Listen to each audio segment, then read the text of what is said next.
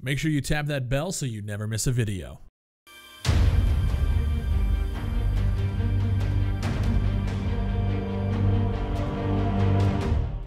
What's going on, ladies and gentlemen? Welcome back to the channel. My name is Big Fry. Shout out to everyone who has been watching the E3 coverage. I know I've been uploading a lot here the last couple of days, so if you guys haven't caught up on everything, make sure you do. I'm dropping videos on Division, Insurgency. This one is about Overkill's The Walking Dead.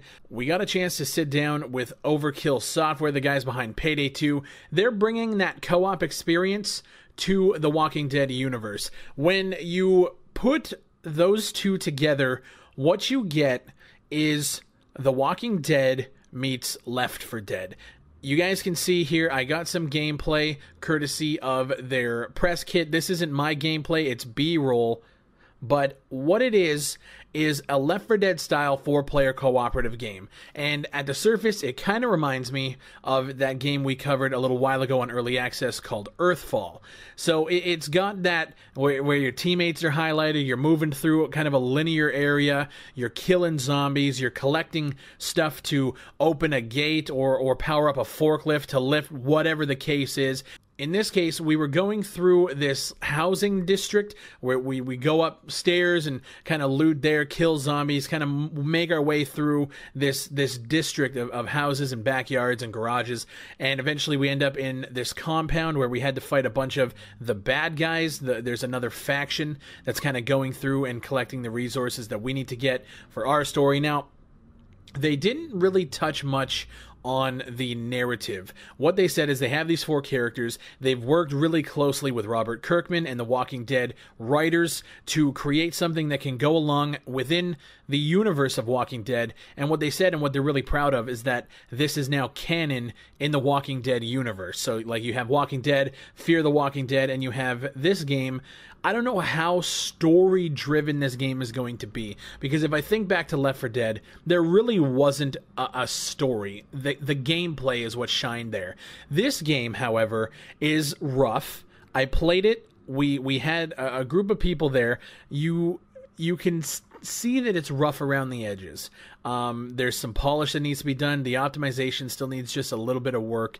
Um, but what I found was I'm a shooter guy. And when we had to use melee, it kind of throws it off because I'm not really a fan of melee in a lot of these games. This game felt unbelievably good. The melee is so responsive. When you go up and swing it, it, it feels just the way they have the slight delay on the hit and, and where it hits. The animations are prime it feels good to just beat the shit out of zombies with a baseball bat. Usually I would just resort to pulling out the gun and just running through, but I actually enjoyed the melee combat, which is something that, like I said, it's very tough to nail, and I feel like these guys did. The game right now is coming out in November. Uh, it's going to be coming out for PlayStation, PC, Xbox, all the all the consoles. Now, if you guys have been on my channel for a long time, there was a game that I covered a long time ago. This was back in 2016 called Homefront The Revolution. Now, let's talk about the gunplay mechanics because I was trying to figure out what game I could compare it to when I was playing it. It has the hit markers, there's not a lot of recoil. The guns just feel. They feel they feel really loose and not at all tweaked. Now, obviously, this stuff can change. This is a beta build, but it felt like I was playing Homefront the Revolution, and I tore into Homefront the Revolution. Obviously, that game came out and it was terrible. We have a few months before this game's going to go out to the world. And what I hope is that they can kind of nail a better feel than that generic aim, pull the trigger, hit markers dead.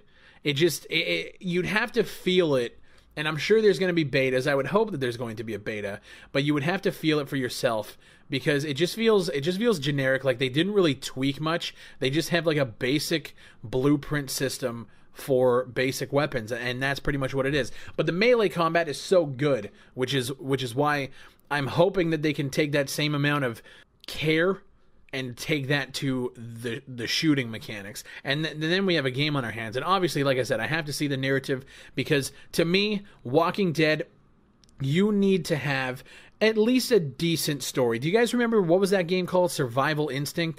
That game was an absolute shit show. It launched for 60. I don't want another Walking Dead action shooter game like this to come out and be terrible. Payday and and those guys at Overkill have a really good track record in terms of the gameplay themselves. Now, people have disagreed with how they handle some decisions through development. I'm not going to get into it, but I feel like these guys could do something really special here. We just have to wait and see. Let me know what you guys think down below in the comments. Is this something that you guys are looking forward to? Is it what you expected after all the all of the teasers and the buildup of the hype? Is this the kind of game that you were hoping for? Let me know down below. My name is Big Fry. If you guys aren't subscribed to the channel, I do have a lot of E3 coverage left to do. I'm about to record my Just Cause 4 video. I have Skull and Bones and Assassin's Creed playtest tomorrow where I'm hoping to get gameplay for you guys. I'm not sure how Ubisoft is handling it, but stay tuned to the channel. We got a lot of stuff coming up. Thank you guys for watching. Thank you for the support, and I'll see you on the next one.